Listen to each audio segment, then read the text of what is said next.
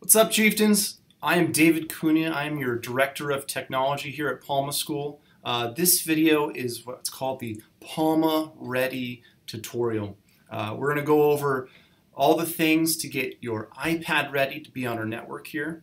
And then we're going to go over um, a couple different apps that I would call essential apps that you're going to be using uh, every single day here at Palma. So get comfortable. This will be a slightly longer video uh, and make sure you have your iPad ready. So step one, when you're on campus here, you're going to get a Palma School ID paper, and it's going to contain your ID number, your email address, and your password. Uh, what we're going to be using to name our iPad is we're going to be using our ID number. So I'm going to get this paper out of the way here. I'm going to bring over my iPad. There we go. Okay, so step one, naming our iPad our ID number. So we're going to go to Settings. We're going to go to General. We're going to go to About. We're going to go to Name, and that's where we're going to type in our ID number. So general, About, Name, ID number. Really simple. Uh, so in my case, it's 24123. So it's going to be your graduation year and three uh, random digits at the end. And that's all there is. That's all there is to uh, that first step there.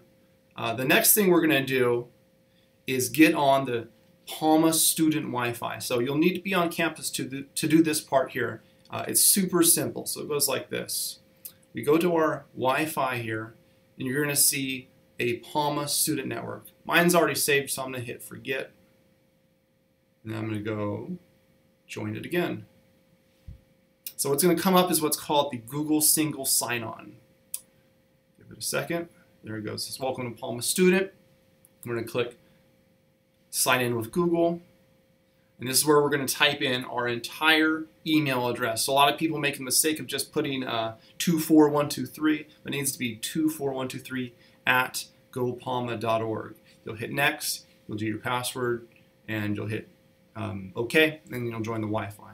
Very basic, super streamlined compared to uh, previous years. Pretty happy about that. I'm to hit cancel, get out of that. The next thing we're going to do is we're going to turn off notifications. Now, by default, the iPad and every app installed uh, has notifications on, which could be a huge distraction and, and are a big distraction. So we're going to go to notifications right here, which is right below Bluetooth. And we're just going to go through all of our apps and we're just going to make sure they're slided on the, to the left to the off position. I turn all of mine off uh, with the exception of Find My, which is the iPad tracker app. So I'm going to leave that on in case I need to find my iPad and make it start beeping and making a big racket so I could find the thing. Uh, perhaps keep Gmail on. Uh, I still keep Gmail off myself. I like to have designated times when I check my email. If I'm trying to work and do something I have noises going off. It's just a distraction, but that's a preference thing.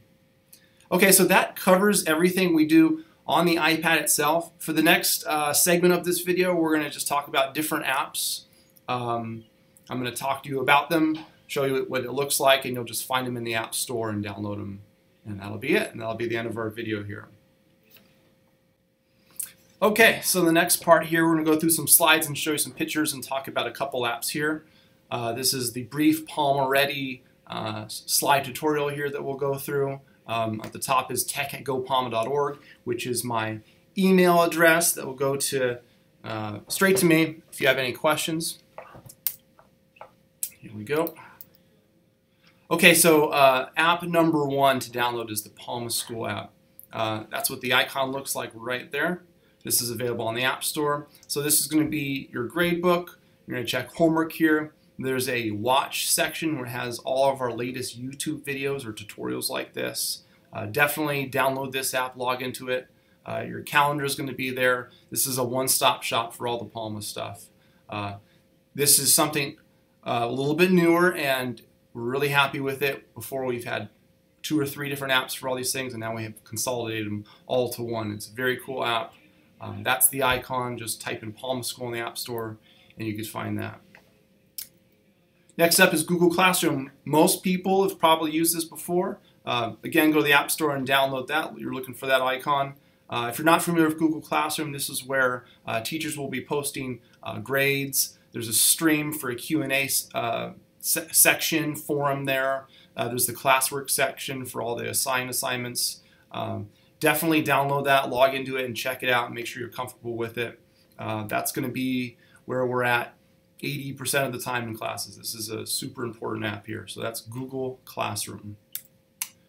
Okay, next up is the Gmail app. Now, yes, the iPad does come with a mail app built in, but I found that we have a lot of students here that get confused with different accounts and they check the wrong email. So I recommend that everyone download the Gmail app and use that specifically for your at GoPalma email address.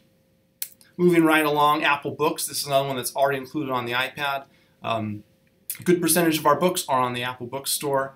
Um, the book list is available at palmachiefs.org slash booklist. Always keep that up to date. It's going to be the current year there, so that link never changes. Um, you basically are going to be scrolling through. Well, I don't want to talk about the book list. That's a whole other video. But you'll go there, you'll download your books, you'll get them here, you're going to download them, and you're going to see them just like that. Um, the Kindle app works the exact same way. Uh, the other chunk of our books are on the Kindle app. Um, you have your library and it opens up. Works really great on an iPad. Usually no problems at all. Again, there's the book list uh, link there. Okay, finally Google Keep. So there's 101 different um, note-taking apps. This particular one saves to the cloud and genuinely, um, the notes don't get lost. Uh, Google's cloud services is great, and this is just a great, reliable way to keep notes or things like that. It could, it could do audio, you could record your audio, you could do videos, does just about everything. So check that out. Uh, you'll be logging in if you're at gopalma.org, and it'll all just save that way that um, to that account. Okay, so here is the checklist. Hi again. So here's the checklist. So Palma School app, Google Classroom, Gmail, Apple Books, Kindle app, Google Docs, ESV Bible app, Google Keep. There will be more, but just to start, I want to keep it just one column long, keep it basic, really simple, uh, so I don't overwhelm everybody. Uh, I'm sure you guys have questions. I'll put my email up here again. There it is, tech at gopalma.org. You guys have any questions, email me there. Thanks for watching. I will see you guys on campus. Go Chieftains.